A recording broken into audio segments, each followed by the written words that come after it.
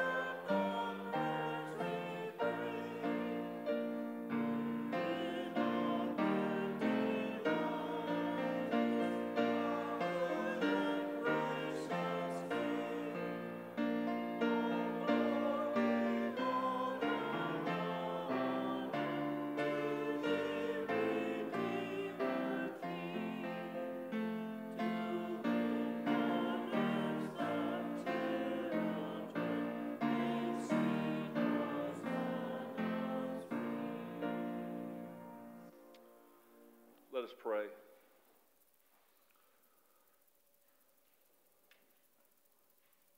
Oh God, our Father, we come before you,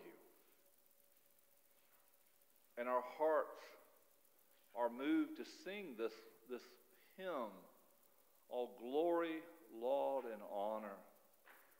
And how true this is. For you are not like us, for you are outside of this creation. You are perfect in every single way, in all that you are and all that you do. You are good. You are right.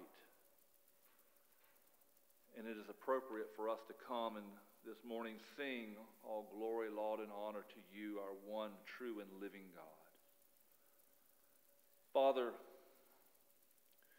as we come before you and we see you for who you are, as we see you, as we experience you, as we see your goodness, as we read your word and your word reveals your character,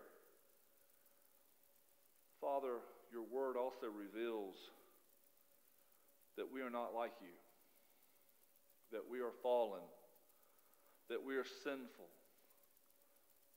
and that we are in need of a Savior. So we come with confession, and we come confessing our sins before you, explaining who we are by nature, that we were born into this world in sin, and we are hopeless without Christ and we come and we claim the promise of Christ, the promise of the gospel.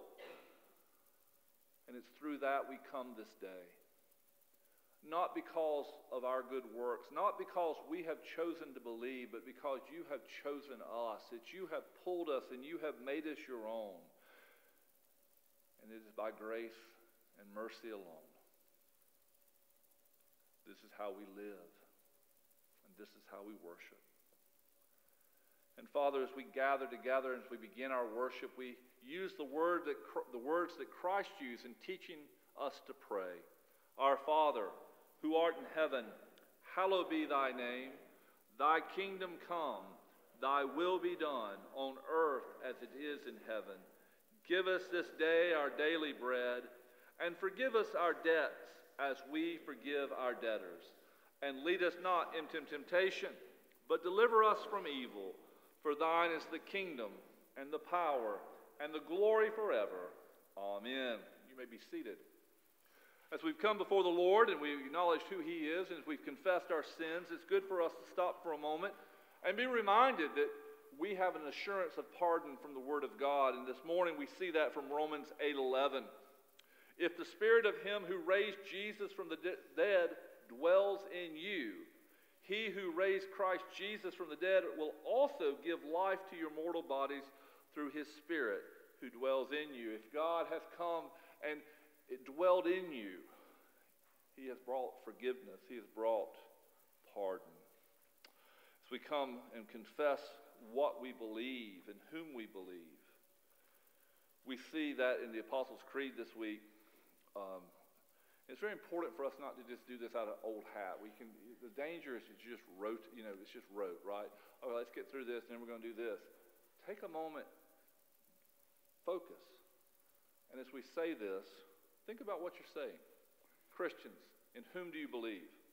I believe in God the Father Almighty, maker of heaven and earth, and in Jesus Christ, his only Son, our Lord, who was conceived by the Holy Ghost born of the Virgin Mary, suffered under Pontius Pilate, was crucified, dead, and buried.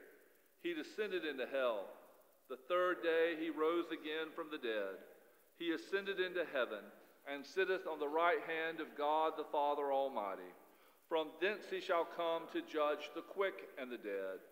I believe in the Holy Ghost, the holy Catholic Church, the communion of saints, the forgiveness of sins the resurrection of the body, and the life everlasting. Amen. Well, we come as a thankful people, do we not? I hope you do. So often, I think we're so busy, we, we focus on what we need from God. Hopefully, in your individual prayer life, in your family prayer life, hopefully there's a sense of thanksgiving. When good things happen to you, we see that God is the giver of all good things, and we stop and we say, Thank the Lord. Praise the Lord. And hopefully we don't just say praise the Lord as a kind of like the world says it, right? We say it as truly being thankful.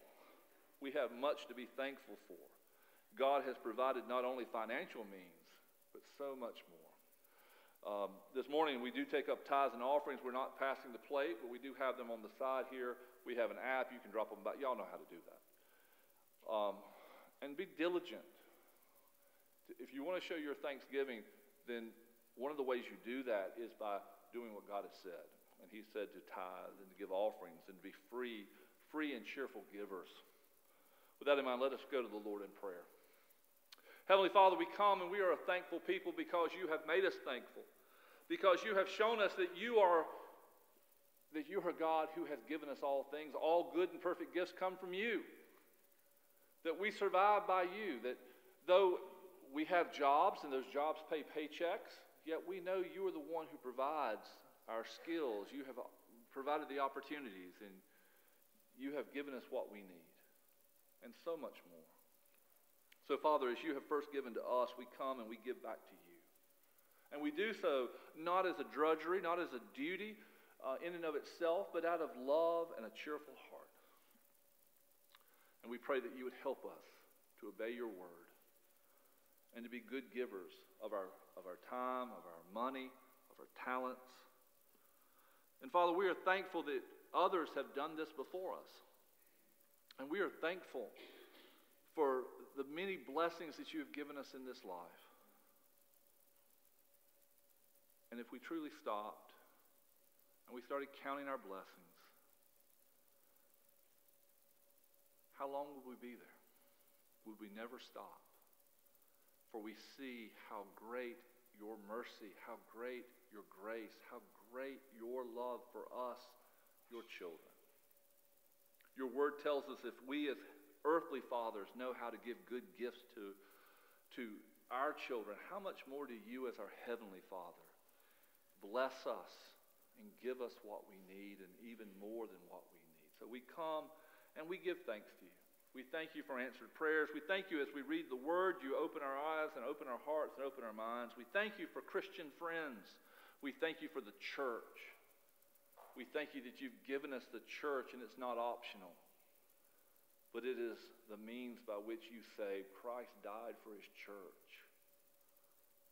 And we are thankful we can be a part of the church and the fellowship of the church and the work of the church. Father, we come and we give praise to you for all that you are doing and all that you have done. We pray it in Jesus' name. Amen.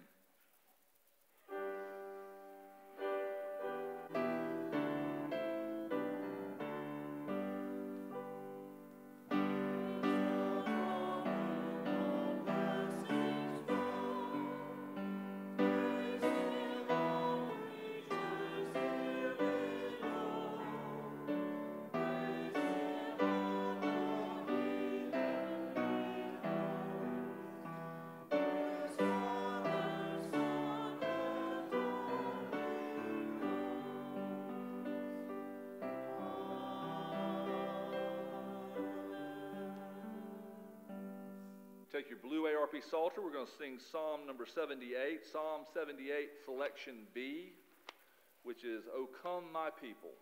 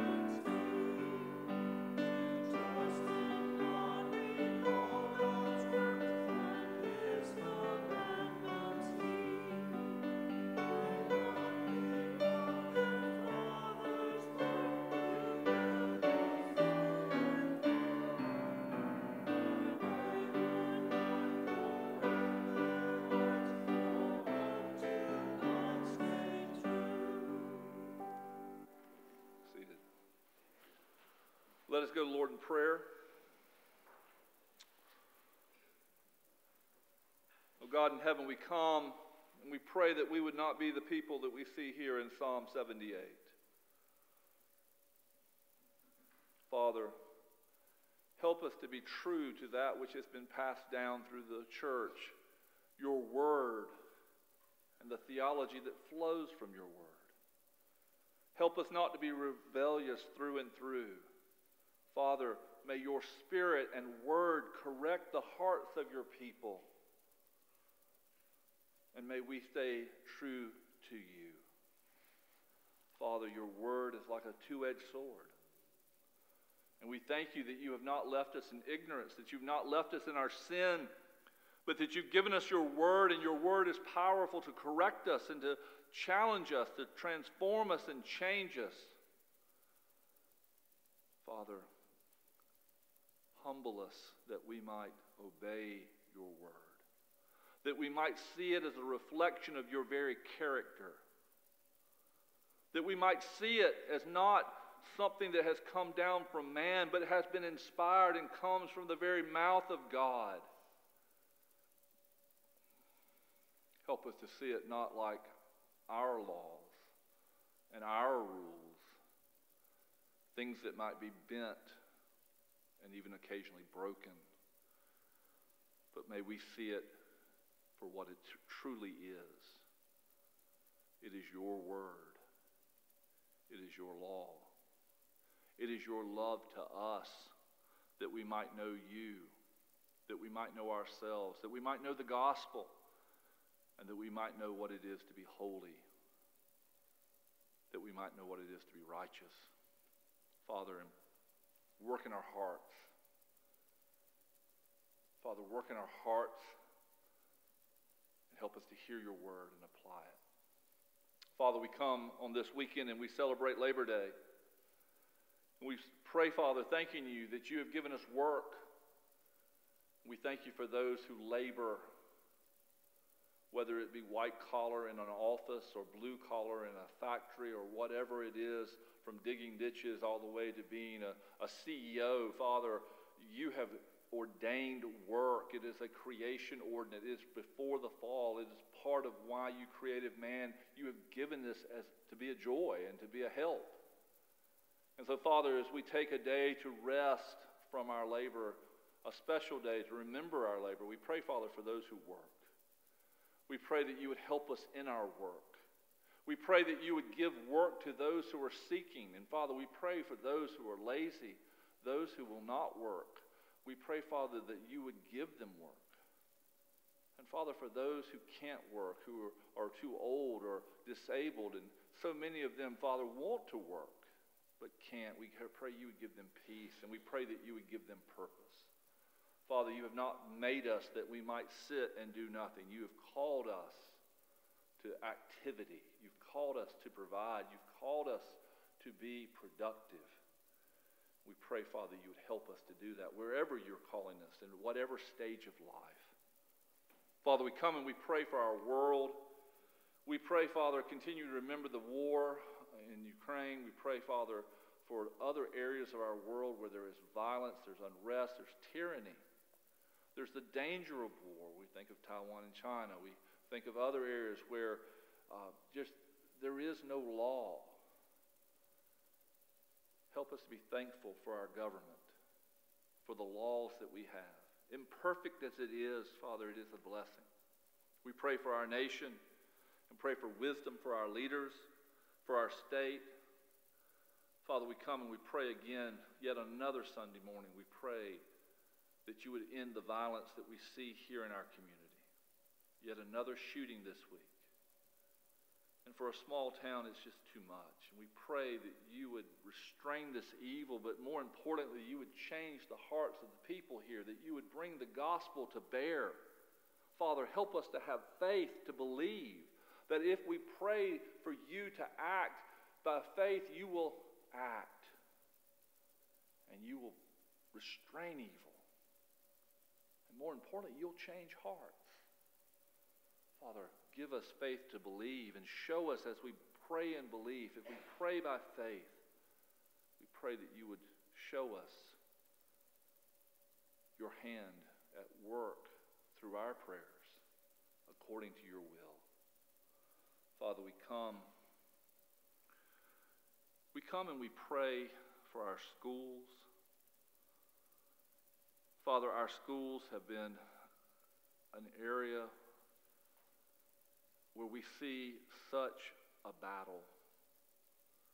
We see a battle of the mind, a battle of trying to teach young people to think. We see a battle of cultures, but we see also a battle of morality. We see a battle between truth and a, a, a, world that doesn't believe in truth. Pray for our Christian teachers. We pray you would protect them and lift them up. We pray, Father, for Christian children who are in school that you would have your hand of protection upon them. And Father, we pray that you would bless our public schools, that you would work through them, through different groups that are in there Fellowship for Christian Athletes, others, Young Life, different groups that are there bringing the gospel. And Father, we pray that the kingdom would come into these places and that you would work in the hearts of young people, that there would be salvation, that there would be growth, and there would be protection. Father, there's a great need, and we ask you to meet that need in our schools. And we lift up those who are not in public school, in private school, homeschool, and Father, they're not out of danger either. For we live in a world that is after our youth, and they have so many tools to get there social media, television, movies, music. Father, protect our young people. Fill them with the Holy Spirit. Give them a love for your word. Build them strong in Christ so that when this world is too much, when they are pressured, when they feel hopeless, Father, give them the hope of Christ. Give them the rock of Christ. And keep them upon Christ and in Christ, for there they will be safe. Father, we come to our church. And we pray that we would not, on one hand, just look at others and say, well, aren't we better than them? For that is the Pharisees. Father, kill that spirit upon us. But Father, also help us not to look just at ourselves. Father, help us to be humble in ourselves, but also help us to reach out into this community. Father, help us at First Lancaster at First ARP, may we be a light of the gospel that's not just here when we preach, but is in every workplace, every home, every school where our members go. May the light of the gospel go with them. And may we be a city on a hill. And may you make us useful for your kingdom in sharing the gospel, in building disciples, and speaking for the truth of God. Father, we come and pray for the afflicted. We pray for those who are afflicted without faith. We pray for the lost. We pray, Father, that you would bring them to faith. We pray that you would, again, keep the saints. We pray, Father, that you would bless our church and its ministries. We pray for those who are sick, those who are injured, those who are recovering from surgery, those who are battling cancer. Father, you know all the physical, mental, uh, physical, medical needs that we have, and we lift them up before you. And we pray for you to work. We pray that you would bless those who are dealing with mental illness. We pray for those who are dealing with just emotional issues, panic attacks, those who are struggling just to live in the world today, and how we can see that, Lord. It is a struggle, and we pray you would again lift them up. Father, in all things we come before you. And we pray that you would give us your Spirit. That it would work in our hearts and minds and lead us by your word closer to you. That you would keep us safe in Christ, for there is our protection. That you would keep us with Christ in his church, and that we are safe there. That you would give us that hope, and that you would give us that reality, and you would give us that promise. For we pray it in Jesus' name. Amen. Y'all are dismissed. Continuing our look of Gospel of Matthew, uh, excuse me, Mark. I don't know why I said Matthew, but Mark. We're changing over. We finished chapter 5. We're now in chapter 6. Chapter 6 is an interesting chapter. It starts off with a bang here Jesus going home. We'll see what kind of homecoming Jesus will have. Um, let's go back before the Lord in prayer. Father in heaven, we thank you again for your word, and we pray now that you would bless the reading and preaching of your word, that it would be for our good, that it would challenge us, it would transform us, it would encourage us. Most of all, Father, we pray that it would help us to know that we know you, the real you, and that we're trusting in you. For we pray it in Jesus' name. Amen.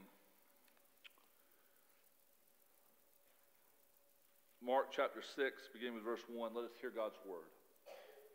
He went away from there and came to his hometown, and his disciples followed him. And on the Sabbath, he began to teach in the synagogue. And many who heard him were astonished, saying, Where did this man get these things? What is the wisdom, wisdom given to him? How are such mighty works done by his hands? Is this not the carpenter? The son of Mary, the brother of James, Jose, and uh, I don't think it's Jose, I think that should be Joseph. Anyway, whatever that is. Judas and Simon. And are not his sisters here with us? And they took offense at him. Jesus said to him, A prophet is not without honor except in his hometown and among his relatives and in his home household. And he could not do mighty works there except that he laid hands on a few sick people and healed them. And he marveled because of their unbelief. And he went among them, he went about among the villages teaching. The grass withers, the flowers fade. But the word of our Lord endures forever. Amen. There is a difference between knowing Christ and trusting Christ. It's a difference. A difference between knowing and trusting in Christ. You can know about Christ. You can know about Jesus. You can know the Bible. You can know the stories. You can know the teaching that Jesus did through his ministry. You can know his works, his works of, of great healing, of raising even the dead, of even going to the cross and raising himself from the grave. You can know all about that. His hometown knew him. He comes back to Nazareth. It's not there in the text, but it says his hometown, and we know that's Nazareth. And he comes back there to the place where he had spent his first 30 or so years. He had grown up there. The people knew him. So when he comes back into town, it's not like it's a stranger. It's not like it's somebody that they did not know or just sort of knew on the periphery. This was Jesus who was a carpenter, who was at the center of life there, that they knew. And now they also know that his teaching he has taught in the synagogue. And they know of his great miracles that he had done. They've seen a few here, but have heard of others. But at the end of the day, they missed him as Savior and Lord. They had no faith in Jesus. They had no trust in this Jesus that they knew. Our teaching this morning is there is a danger in knowing things about Jesus, but not knowing Jesus and trusting in Him. So the first thing we see is that Jesus goes home. Not a pleasure trip. This isn't like, hey, I need to go see my, my family. I need to take a couple days off and go. We're going to go to Nazareth. No, this is part of his ministry that he's moving through. He's got his disciples with him. He's doing his continual work. We see that he's teaching in the synagogue. He was asked to teach. Now, think about this. Here is Jesus come home. Here's the hometown boy Jesus, who all of a sudden has this marvelous ministry, and it's just the buzz of the whole area. And now he comes, and they're going to let him teach in the synagogue. So people come in, and there's sort of this that's Jesus. We know Jesus. What, what is Jesus doing? This hometown boy. And we're not sure what he taught. It doesn't say what he taught on, but the reaction is very clear. It's hard to go home. Jesus will later say, a prophet has honor everywhere except his hometown or with his family or relatives. When I was in seminary, Dr. Frank Kik was our practical theology professor. His father was Marcellus Kik, was one of the uh, original editors, I believe, of the uh, Christianity Today. And, and Frank was a bit of a rebellious child growing up. And uh, he always said it's very hard for a pastor to go home sometimes. I remember the first sermon I preached in front of my, I will always remember the first sermon I preached in front of my parents. You want to talk about a humbling thing. Here is someone who knows everything you've ever done, and now you're up there preaching and standing for God. It's a little humbling. Frank was a bit of a rounder growing up. He was pretty rebellious. He had run with a pretty rough crowd before the Lord called him to ministry. And his first church was 45 minutes from where he grew up. And he said he lived in terror for two and a half years that he was the pastor of that church, that all those people that he used to run around with were going to find out where he was pastoring and show up. Well, Jesus has showed up where everybody knows him. But you know, Jesus is showing up not as a rebellious child who's been saved and called. He's not Frank Kik or maybe Franklin Graham, if you're familiar with his story. He's not a prodigal son, he's not a rebellious child. This Jesus grew up among all of these people. And one thing we have to remember is Jesus is growing up, he is sinless and perfect. He grew up among these people completely holy. Now, it was not revealed to them who he was But at the same time, they should have noticed that there was something different about this Jesus. For not only was he just a good guy, even beyond that, he was, a, he was perfect.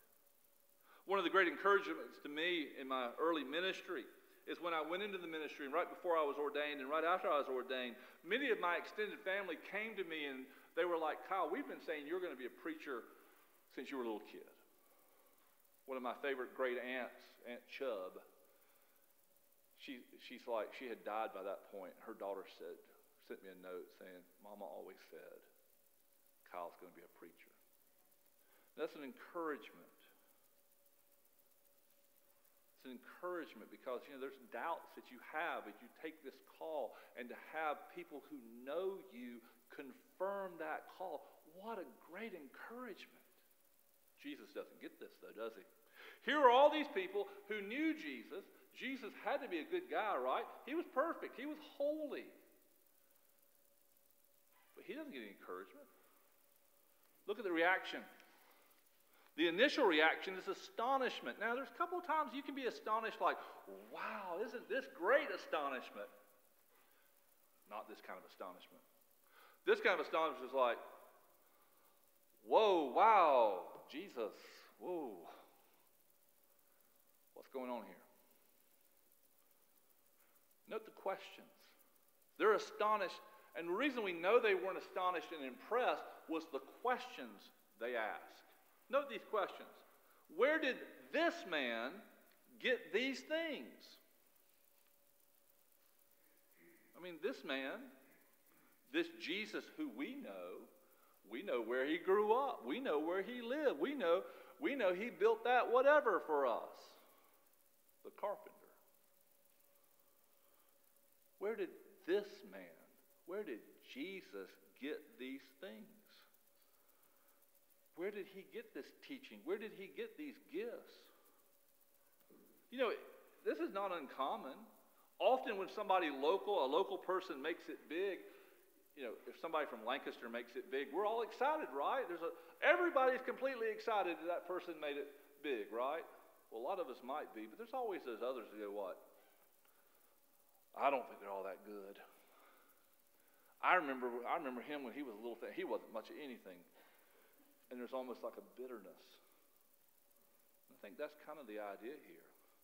Where did this man, where did this guy who came from Nazareth, where did this guy who's one of us get these things? What is this wisdom given to him, they ask.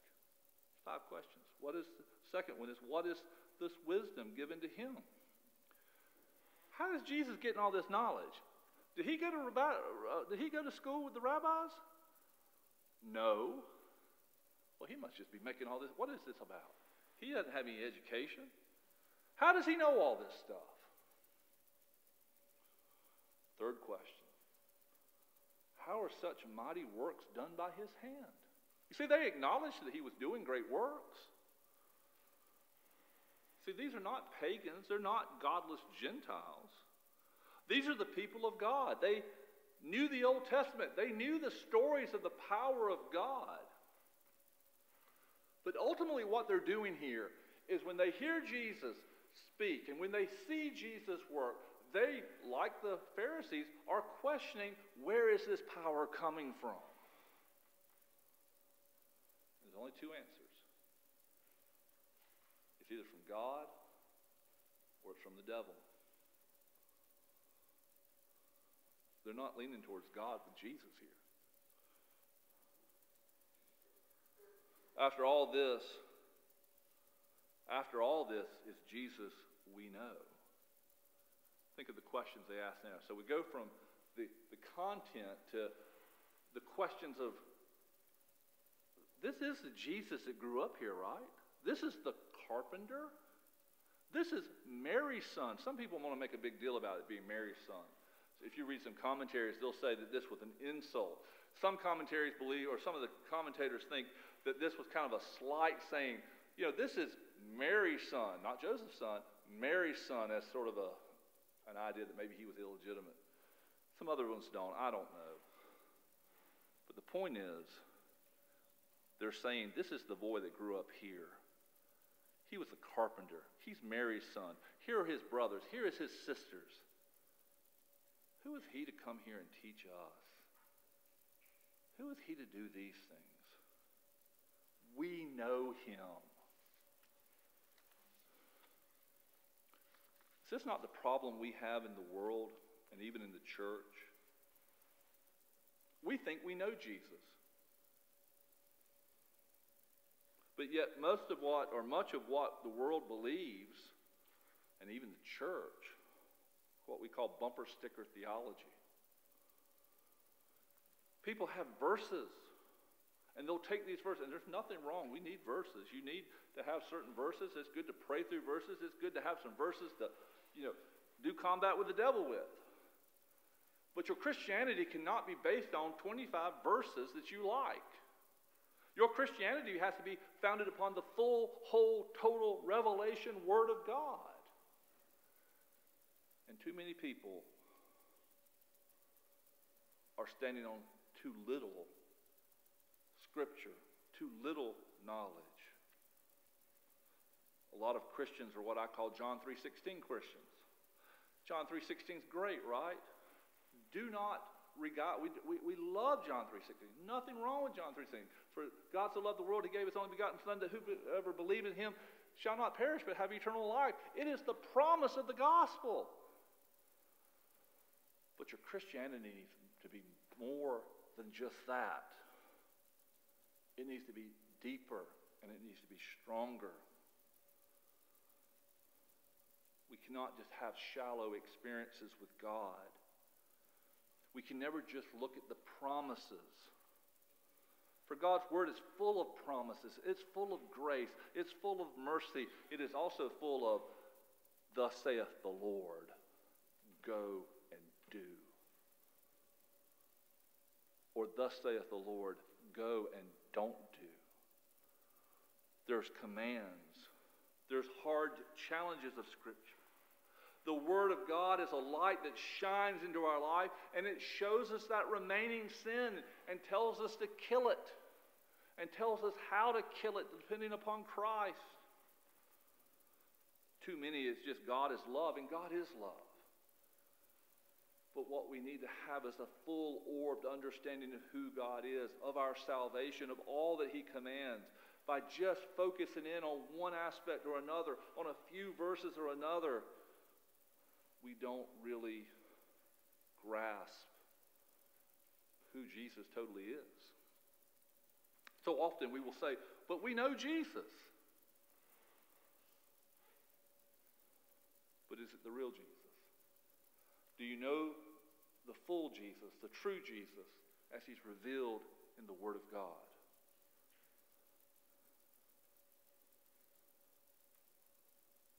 Again, we see it in our world today. People believe that God never condemns. God doesn't hate. But if you read the Bible, you see in the Old Testament, he condemns the nations. He brings judgment upon them. Um, he says to he says that Jacob I have loved and Esau I have hated. We come to the reality that we may have constructed a Jesus of our own making from a few Bible verses, from a few good ideas, and a lot of pragmatism. And this is a danger that we must address and make sure is not in our lives. Because if you want to know Jesus, if you really want to know Jesus so that you might trust in Jesus, you need to know the whole Bible. That doesn't mean you have to know it before you get there, but you have to believe it and be working through it and not just be satisfied with a partial picture of who Jesus is. Because Jesus is the Word. John 1. He is the Word. This is the Bible is the Word of God, but it is a reflection of Christ. It's not just our Christian philosophy. It's not just our Christian good ideas about how to live. It reveals the very character of God. Think about that. It reveals who God is. So you can't pick and choose what parts of the Bible you want. Because ultimately, what you're doing is picking and choosing the God you want. Not how it works. You can't pick and choose what you want from the Bible because it comes from God. The danger is you can know about God. The world knows about God, but never really know Christ and never really trust Christ. This is what happens here. You saw the initial response astonishment, all these questions, which lead to the ultimate response to his hometown to his ministry, to his word, to his miracles, they took offense at him. Let that sink in. Jesus goes back to where he knows these people. He has a relationship with these people. He grew up with these people. Now he comes and he preaches as he always has. He teaches with authority and power the Word of God. He even does some healings here. He lays his hands and heals some sick. And what does all this come to? They look at him and say, We know you. Who are you? And they took offense at him. Instead of hearing his wisdom, instead of seeing his mighty works, Instead of seeing he was clearly from God, they took offense at Christ. Some, well, we see the same problem today.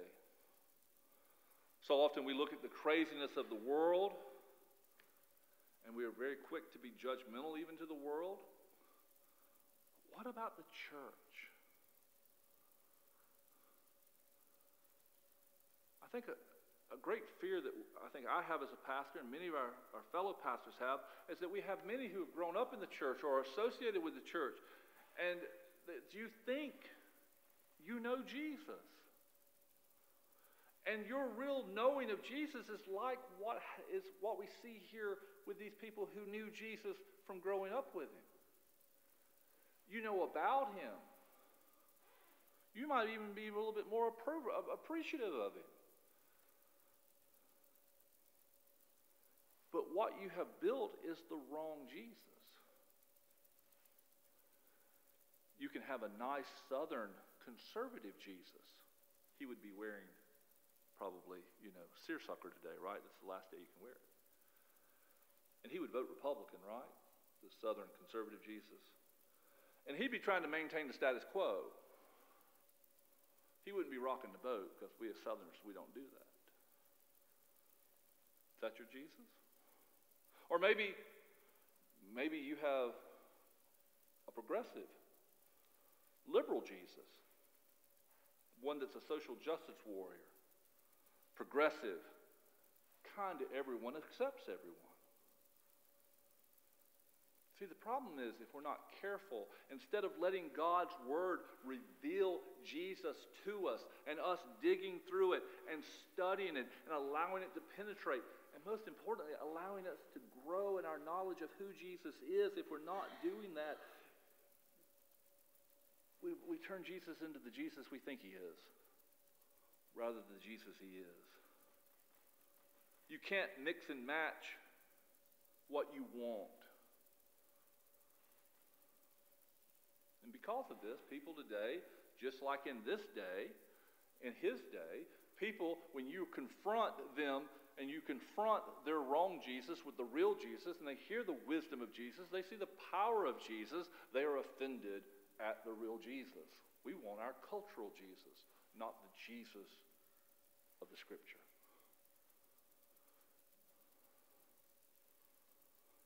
Where does this come in at?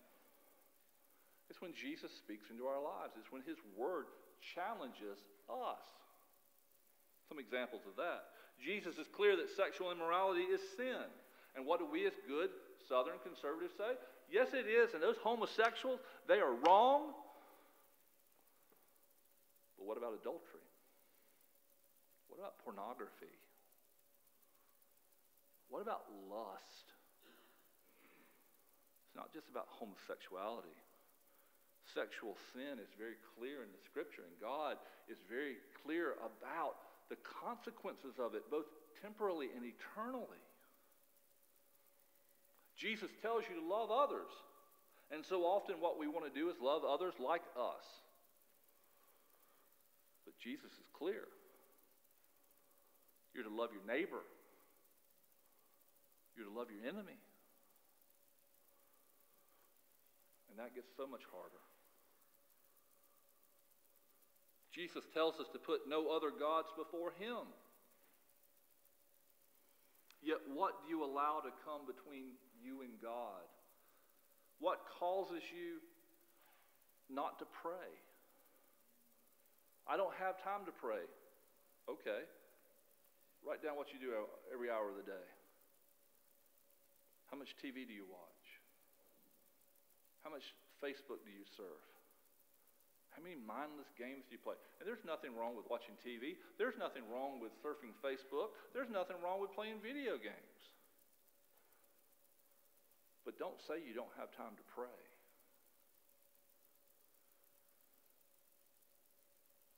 What causes you not to be at worship? What gets in the way of you coming together Sunday morning and Sunday evening to worship God? Here's the danger. Again, that you can think you know Jesus. So that just like these folks, you take offense when the real Jesus shows up and says, Here's what I want you to do. Here's what you need to do. Here's who God is, and it's not the God of your thinking. It's not the God who's a, just sort of saying, Oh, that's okay, you can go do this. It's a God who's making demands on your life because He can, because He's King Jesus. When His Word convicts you, when you are challenged, are you going to be offended? Or are you going to receive this? You see, this has consequences. This whole thing that happens here in Nazareth has huge consequences. Jesus acknowledged that a prophet in his hometown has no honor. He has no honor among his family, his relatives because they refused to believe in him. You know, Jesus isn't looking for a pat on the back. He's not saying, they're not wanting, way to go, Jesus. He's wanting them to believe. He marvels at their unbelief. And you wrestle with that. You know, here's the people he knows. These are the people who should be the, the first to accept. But yet they don't believe. Now, in the last two things we saw in Mark 5, what do we see? We see a ruler of the synagogue, a, a respectable man, but a desperate man. And he comes and cries out to Jesus to heal his daughter. And why did Jesus heal his daughter? Because he believed. He believed Jesus was who he said he was, and he had the power to do it. And by faith, the girl was, was healed. And on the way to healing that girl, the woman comes up and by faith said, I don't even have to bother him. If I can just touch his robe, if I can just touch his garment, I believe I can be saved from this horrible disease. And she is. We see these illustrations of faith. And then we come and we see this giant example of unbelief from people who Jesus wasn't a stranger. It says here he could not do great works. And it wasn't that he didn't have the power. One commentator said it would have been morally and spiritually incongruent. Another one said, where the kingdom is rejected, it is un- inappropriate for the king to share its life and joy. God isn't going to bring his blessing and his power to a place where they don't believe in him. It would be wasted. And again, Jesus marvels. How do they not believe? How do they reject? This is part of the suffering of Jesus, right? Could you imagine being a pastor and you go home and everybody laughs at you and is like, What are you doing? You're a pastor? Ah! Jesus rejected by his hometown, by his family, by his friends, by his relatives. And this is only the beginning of what we know Jesus would, under, would undergo. He was going to be rejected not just by his town and by his family, but eventually the world would reject him. And he goes to the cross alone. And there he dies for you and I. And that's part of his suffering and part of his passion. Christians, are you trusting in Jesus? That sounds awful trite. And it sounds awful Sunday schoolish, doesn't it? Oh, we need to trust in Jesus. Yes, but what does it mean? Do we have faith? Do we as a church have faith that God can answer our prayers? When we prayed earlier and we asked God to work, do you believe? Do you believe like the man who was desperate to have his daughter healed? Do you believe like the woman who was desperate to be healed from this 12 year disease? Do we believe that God can stop the gun violence? Do you believe God hears your prayer? Do you God do you believe God works? Or do you think we're just sort of throwing a Hail Mary up there? God works where there's belief. And this is not name it, claim it. This is not one of those, hey, if you just have enough faith, you know, Miss Mott's going to get a Lamborghini and Mike's going to get a cell. sailboat. That's not how that works. What we're saying here is we believe God will do what God said He will do. He will save the lost. He will heal the sick. He will grow His church. He will bring His kingdom. That's why we pray, Thy kingdom come. What do you believe when you pray that?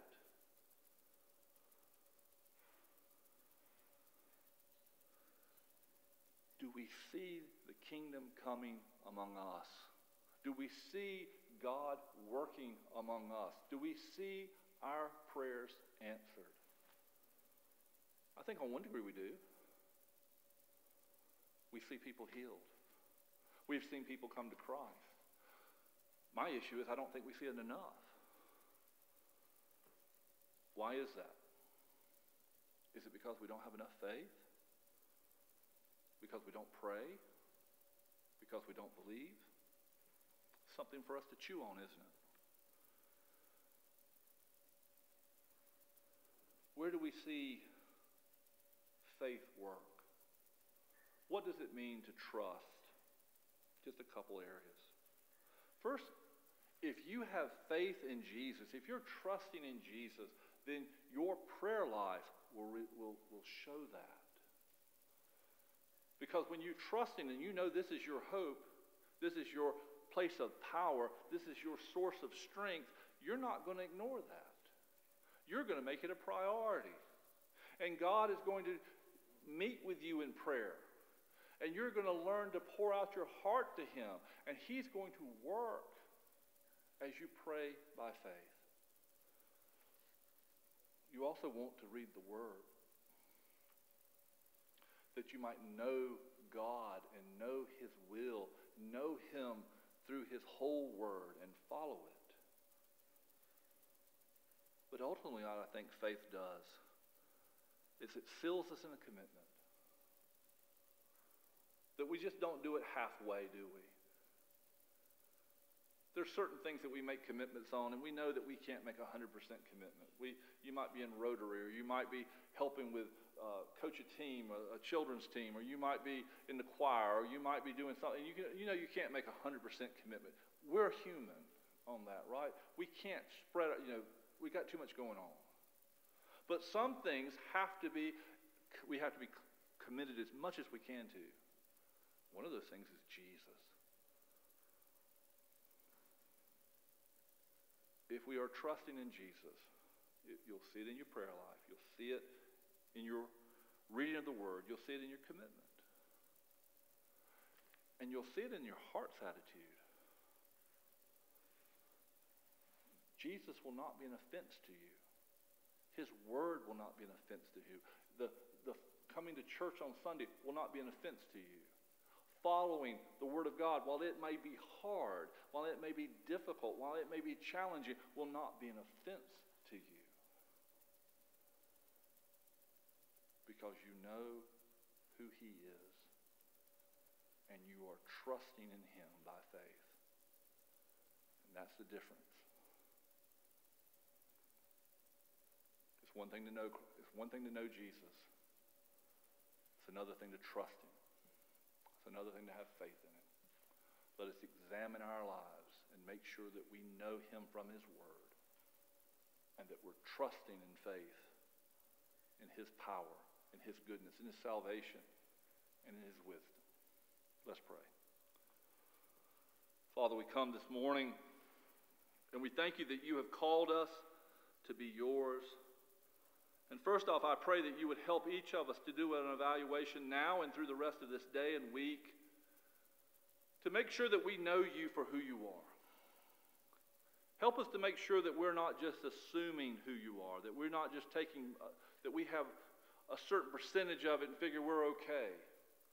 Father, give us a hunger. Give your people a hunger to know more and more of who you are and what you have revealed about your character and all the things that are given in your word.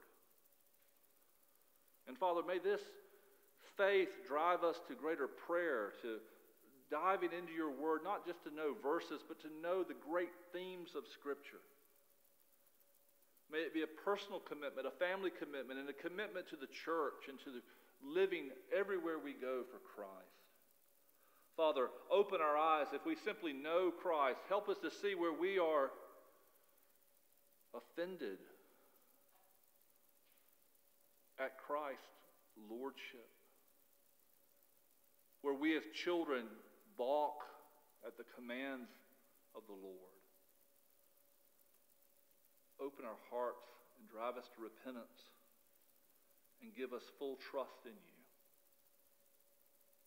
Draw us to Christ that we might know him and that by faith we might be blessed in him. For we ask it in Jesus' name. Amen you take your red Trinity hymnals, we're going to sing Shout for the Blessed Jesus Reigns 369. Let's This